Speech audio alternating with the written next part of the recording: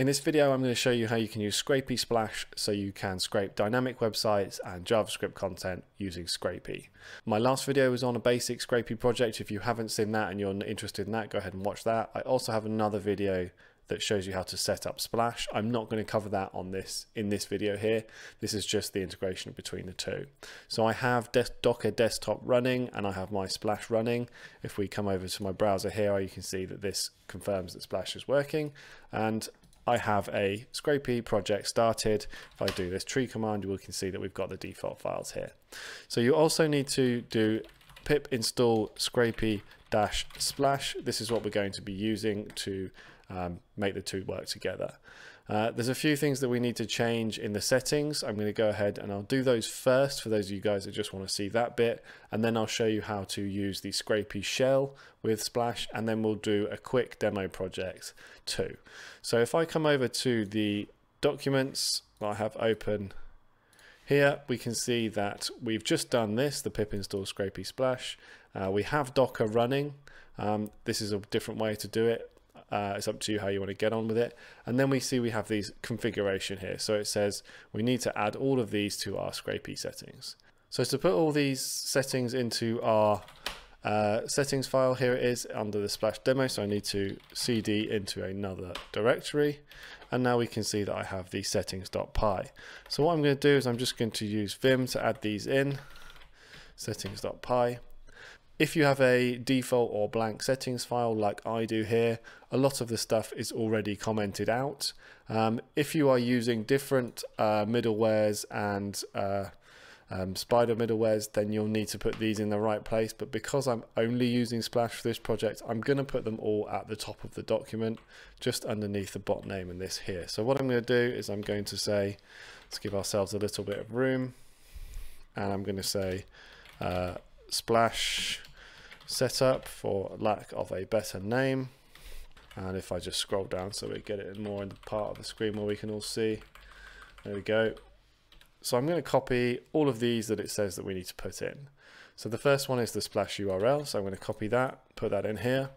Now I know that this is on localhost port 8050 so I'm going to just write that in there this is probably going to be the same for you, but you'll just need to check your splash URL, and that is the one up here that I showed you just a minute ago.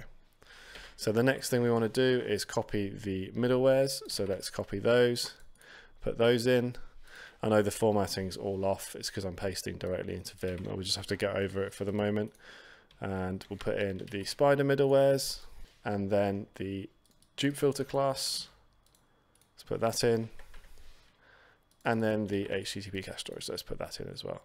So I'm just going to save and close that. So that's all we need to do for the moment. But what I'm going to do now is I'm, before I get on with a slightly larger project, what I'm going to do is I'm going to show you how we can use this with the shell. So I'm going to do Scrapy shell. I'm going to run the shell and this is how we would normally check to uh, interrogate and pass the response to the web page. So I've got a website here uh, and this one is a website that will not let you scrape because it all is all the products are loaded dynamically. If you check the source, you would see that that doesn't. Um, there is none of the information there. It's all dynamically loaded. I'm going to copy the URL and down in my to clear that up. I'm inside my Scrapy shell. I'm going to do fetch and I'm going to give it the URL and we're going to hit enter and it's going to say we got a 200 response, which is good. So if I type response we should see that there. So if I do response.css and we put in the title, text.get, we get the text of the title back. So all good so far, and we're not actually using Splash yet. But if I go ahead and inspect element and try and get out, let's just say the name here, that's an h4 tag. So let's see if we can find any h4 tags. So let's do response.css, ss, h4, so we got lots back and let's just do the first one. So we got search results, okay? So if we look through this, we can see that we have, let me do got dot for the text, that'll be easier. So actually I'll just clear that. So if I do um, h4 and then put two colons in the text, that's what we're gonna get. And I'll do dot get all. And we can see that all of these are parts of the website, but none of them are the product names. Despite looking over here, it's too small for you guys to see, my bad. Looking over here, the actual products are in H4 tags. So I'm going to run the shell using Splash. Now I have my Splash running, uh, which I just showed you. So what I can do is I can redirect my request through Splash to get the response back into the shell. So let's do fetch and let's say we need to give it our splash URL, which is our local host 8050. This is just this is the one we just put into our settings file, and then we do uh, render dot HTML, which is the point that we want to hit, and then we do a colon, and then we can say URL is equal to, and then our URL here. So if I hit enter, you can see the first one we get is a 404 because it's trying to crawl the robots.txt on our local host, which isn't there. But now I have that response back. So we again, we can do .response.css. Let's do title dot uh, text like this and dot get. We got the title back. That's good. Now, if I can, I can't go back further up. So we'll do, we'll type it out again, not a problem. Response.css, and then let's look for the h4 tags Let's get the text of all of them and get all for every single one. Hit enter. We can see that we now have down here underneath, this is what we had before. We can see that we actually have the product names as well. We can see that they are all there. We actually picked up some other stuff at the bottom. But that basically is just showing us that Splash is rendering the page and it's working for us. And the difference between using the two means getting the dynamic content back or not. So from here, I'm going to just quickly try and get some kind of information for each one of these products out so we can put it into a bit of a, pro a, a more of a um, actual scraper. This, I'm going to copy this class and I'm going to say, let's clear that so we can see, uh, response.css a um, dot, now with it has lots of spaces in the middle, uh, in between all the words you can actually just put a dot and that should work for us. So let's put one there one there on there one there. And let's see if that works. Okay so we got loads of data back. Good. Let's get the first one dot get.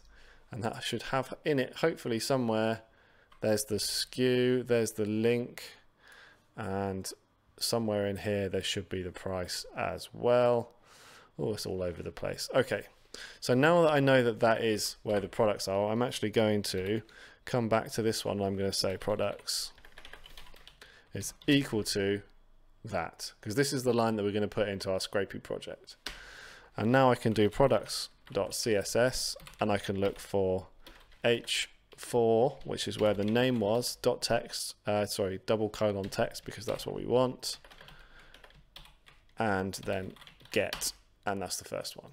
Let's try and get the price and we can see it's in a span tag here with a class of price. So if I do products.css and it was a span price text, oh, text dot get, there's the price there. Okay, so what I'm going to do is I'm just going to leave this open for the moment. We're going to move over to um, to VS Code and we're going to start writing our scraper. All your spiders need to go into the spiders folder. So inside there, I'm going to create a new file and I'm just going to call this one uh, beerspider.py. And now we can go ahead and construct our um, spider in here. So let's just collapse that down a bit, make that one bigger. So the first thing we want to do is we want to import Scrapy and then we want to create a class of our spider. So I'm just going to call this one beer spider like that. And we need to make it inherit from the spider class, scrapy.spider. And we need to give it a name. So I'm just going to call this one uh, beer, why not? Now I'm going to write a uh, function so we can actually get the data. And I'm going to call this one uh, start requests. And we want to say self because it is part of the spider class that we created. I'm going to say my URL is equal to, and I need to grab the URL of the page we were looking at. Let's put that in there. And then we want to yield back out of here, yield, um, dot request and URL is equal to the URL and the callback is going to be equal to self.parse which we are going to write just now. So we're going to say define parse and we need to give it self and the response from our request. Response. There we go. So now I'm going to say, go back to my shell. I'm going to grab, we wanted this line this is where all of our products are. So I'm just going to copy that, put that in here. And then I'm going to say for item in products, we're going to loop through each one and we're going to get the information of uh, which one was it? Have I gone too far? There we go. There's the price. So let's copy that. I'm just going to paste this in for the moment and I'll format it in just a second and that was the name of the product. So let's copy that and then let's put that here.